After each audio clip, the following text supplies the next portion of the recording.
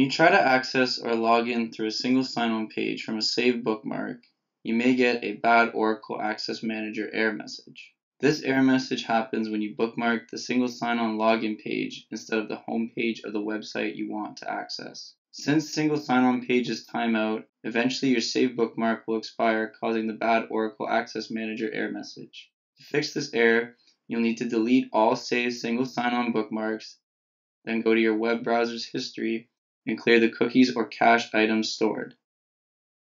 Make sure to select the time range titled All Time as any other option will leave leftover cookies. Check the link in the description on this video on how to delete cookies and cached items for different web browsers if your web browser is not Google Chrome.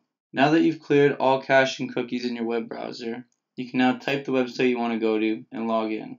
However, remember never bookmark a page starting with https double slash sso2 as this is a temporary link.